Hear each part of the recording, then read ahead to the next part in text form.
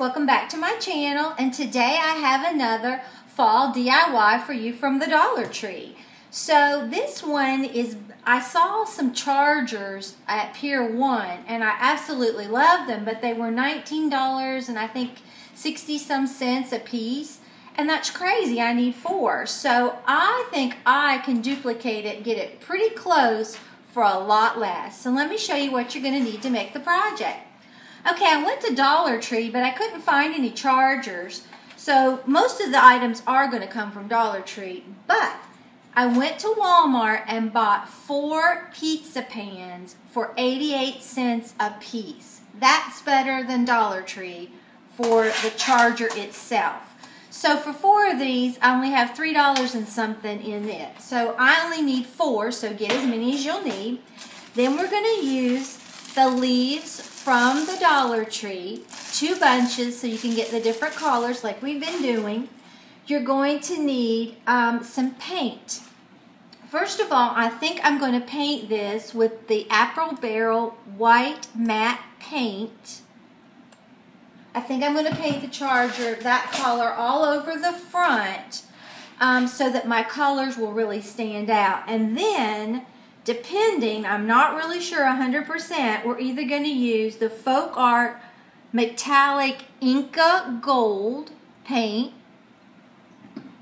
and it may be a combination of a lot of these, or the and the Metallic Folk Art Royal Gold paint, and then we may put some metallic gold in there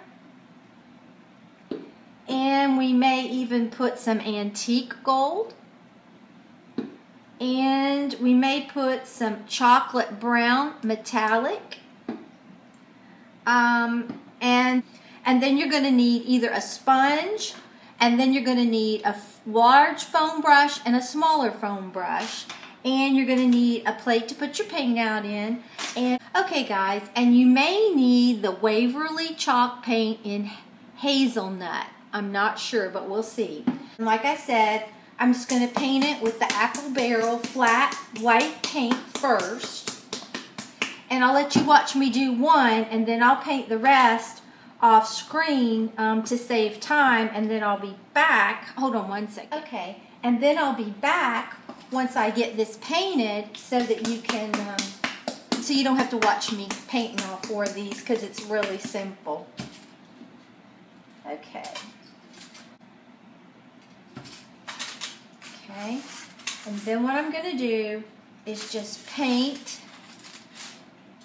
paint these. It's really, really simple. I just want to put, to kind of get rid of the, um, um, the silver that you're seeing so that my other colors that I put will really be pretty and stand out. And maybe I won't have to use as much paint by having this down on the bottom as a base coat.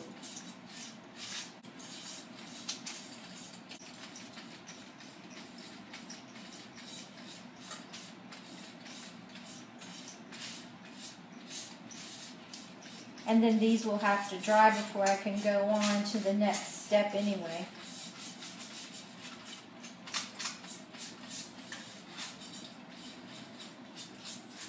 Okay, as you can see, I just painted this with the white paint. So I'll be back after I get the others painted and they dry. I'll be right back. Okay guys, I'm back and as you can see, I have my chargers, all four of them painted with the white and they're dry. Uh, there may be a little damp in places where I got it a little thicker, but I'm going to start over here with the ones that I did the first, and they should be much drier. Okay, so what I think I'm going to do, I'm trying to look at this to see exactly how I want to do it. I think I'm going to put out some of this Inca Gold. I don't really know how this is going to turn out, but we'll see. I may have to totally revamp my plans. Now, let's see.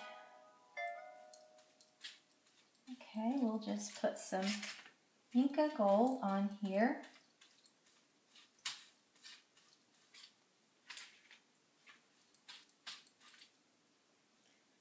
It's looking pretty good. I don't know if you can see it so far. I'll show you in just a minute when I get some more on here. I definitely think it helped to paint these um, white before I started. And you need a pretty good, a little bit of a heavy hand with this um, Inca gold. Don't be afraid of it. And this is what we're getting so far. I don't know how well you can see it, but we're not finished. We're a long way from being finished with the final product. Because it's not going to be a gold charger at all. But it is going to have a gold hue to it.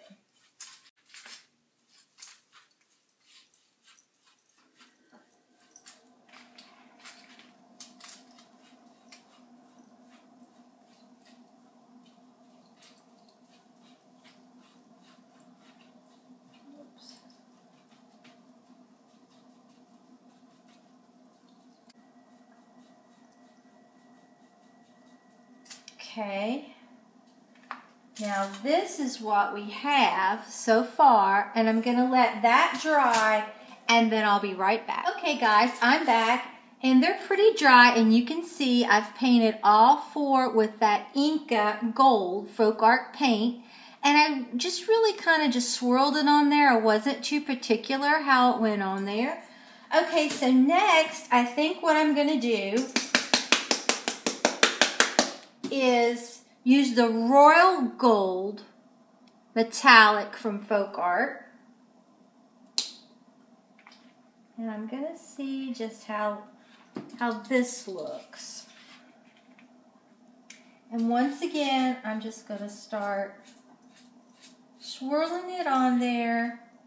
Not too particular how it goes on. I just want to kind of hit it in places like on these corners where maybe um,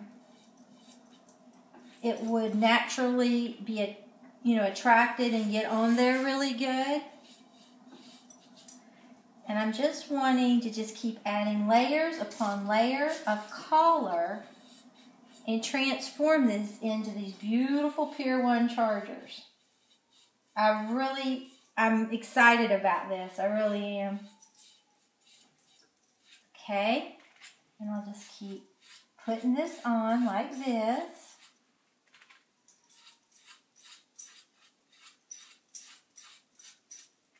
And it doesn't have to be, you know, any rhyme or reason. Just kind of hit it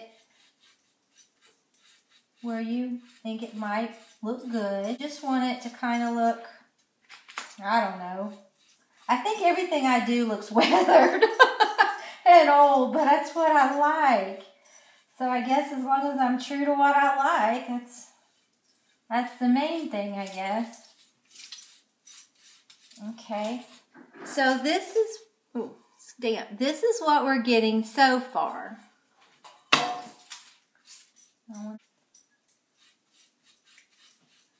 Okay. So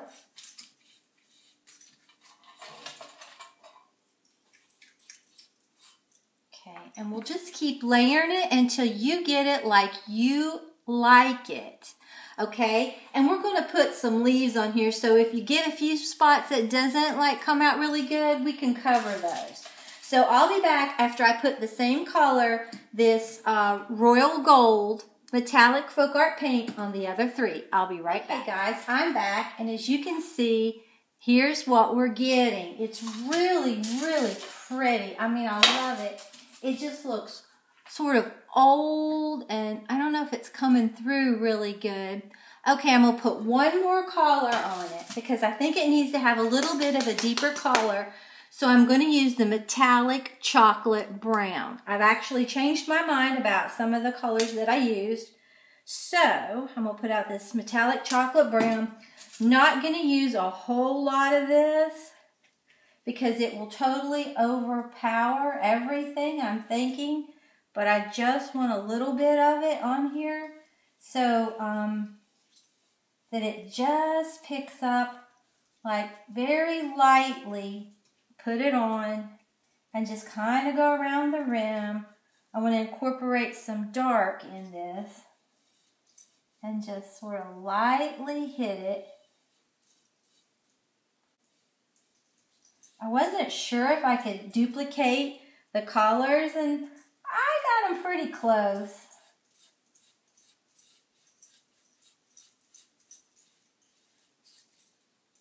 But like I said, I don't want a whole lot of this dark because it will definitely start overpowering the other colors.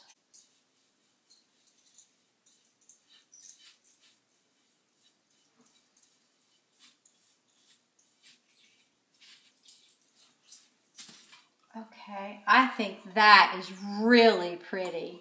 I really do. So I'll go ahead and fix these others and I'll be right back.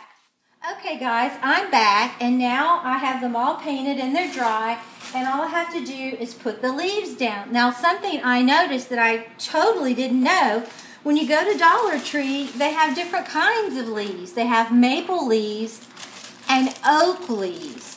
Well, I got maple and oak. The oaks are really pretty but um, when I was trying to start this, I wanted to just use, uh, I was going to use maple leaves, but now I'm going to do the maple and the oak. So I really like how this is turning out. So let me get this going. What I'm going to do is just put it around the outside and then I'll show you up close. And I'm going to put it down with a glue gun for quickness. Okay, and I'm just going to let it come just a tad off the edge and that's okay with me. I don't mind that.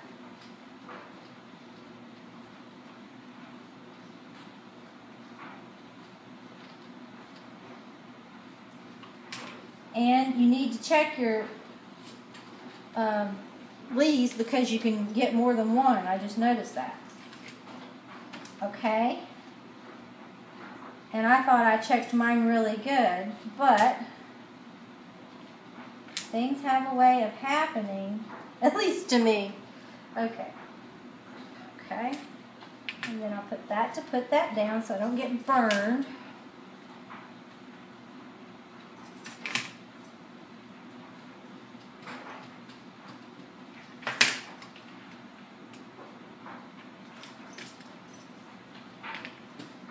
Okay, there's that. And then I'm going to start this one down here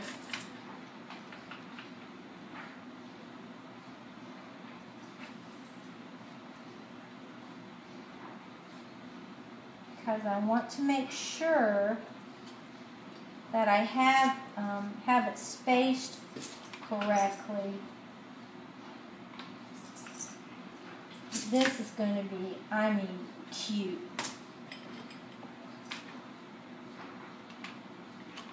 So I think you've got the idea. I mean, I'm just going around through here gluing them.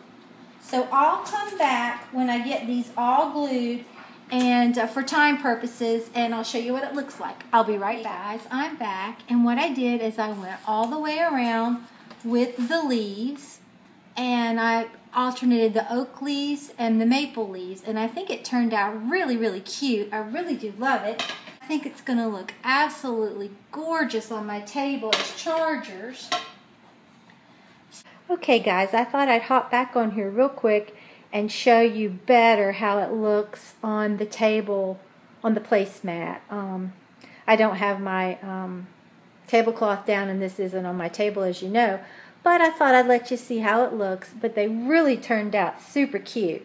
So like I said, if you enjoyed this video, please give it a big thumbs up and subscribe to my channel. Until next time, bye guys.